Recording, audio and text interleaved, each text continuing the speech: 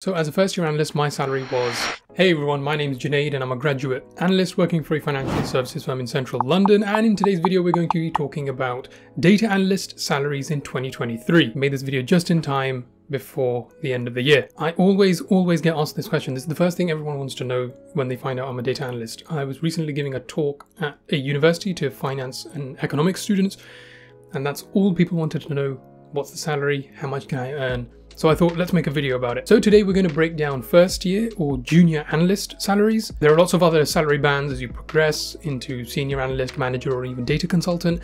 But I thought since this is the first video on salaries, I decided to start off with just first year or entry level salaries. Now, something you have to bear in mind is that salaries can vary so much by company depending on the type of company you work for. But I've taken a look at lots of examples through Glassdoor, Indeed, Morgan McKinley, and calculated averages to come to a good range. Another thing to note is that if you work for a company in the public sector, it's likely you'll be paid less than if you were to work in the private sector. This isn't the case across the board, but in general, private sector remuneration tends to be better at the expense of work-life balance. FinTech or financial services roles tend to pay better for data-related or technical roles, and this was something that stood out to me when I was doing my research. Companies like Google or Bloomberg LP tend to pay on the higher end of the pay range for entry-level roles, but often they do need specific qualifications or a specific type of experience for you to get those roles in the first place. Another important thing to note is that salaries in large cities or financial hubs are undoubtedly higher than those in other cities. For example, the firm I work for also has offices in Birmingham, and the pay structure is different for employees who work who are based in that office. Now, the pay discrepancy between different cities is slowly being leveled off thanks to remote work. Uh, I took a look at some really interesting graphs, and that's showing that as more people get the opportunity to do remote work, the difference and discrepancy between pay between different cities is very, very slowly leveling off. But again, it's a very, very slow change and location is still a very important consideration. That being said, we'll be talking about predominantly London-based salaries, but the ballpark figures I go over in this video should be applicable across countries and other regions because most of the companies we cover are international companies and their pay bands or salary bands tend to be similar across the board. So first year entry level or starting salaries for data professionals can range from anywhere from 30,000 to 60 thousand pounds. That range again depends on the company you work at, the level of your responsibility within that company, and the experience that you're required to have. So now let's break down the figures for some of the different companies. A data analyst working for the NHS the National Health Service earns a salary of £34,000, whereas a data analyst working for Bloomberg LP earns £54,000. That salary difference has a lot to do with the fact that the NHS is public sector, whereas Bloomberg is private sector. A data analyst at Barclays can expect a salary of £50,000. KPMG, one of the big four audit firms, pays their data analysts £46,000.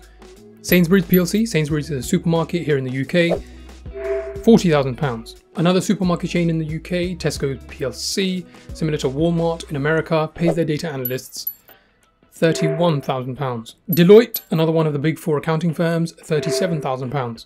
Amazon, a company that deals with lots of customer information and data, pays their data analysts £38,000. A data analyst working for HMRC, His Majesty's Revenue and Customs, another public sector body, gets paid £35,000. Their salaries definitely should be higher considering how much tax I pay them.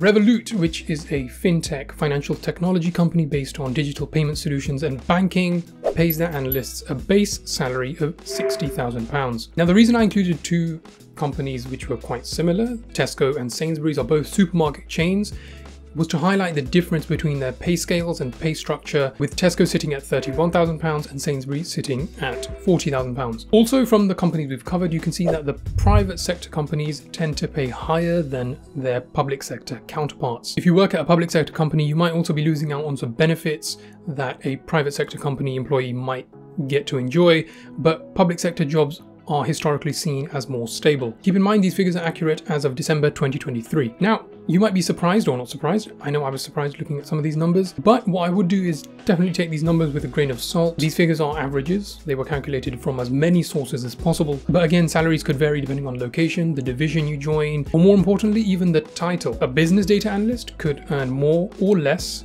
than a data analyst, even if they're essentially doing the same thing. In today's market, I would be hesitant to accept a position that was offering anything less than £30,000 unless you really, really need to. If you have a good university degree and some relevant industry experience, I would definitely say you're worth more in the marketplace. I wouldn't know how much training or professional development that role would be able to offer you, and you definitely want to do more in depth research into what the role requires. You don't want to sign up for a role that is essentially just data collection and data entry or data validation. If a role's been marketed as a glorified data entry position, then it won't really give you the professional development or progression within the industry. You want a role that's challenging and lets you put your hands into lots of different projects, gives you access to lots of different tools and software so that you can progress within the industry. There is a caveat to this, which is unless you're doing an apprenticeship, a good apprenticeship, in which case £30,000 or even below is a very, very good starting salary. Now, it's important to remember that we've been discussing base salaries. We haven't taken into account any bonuses,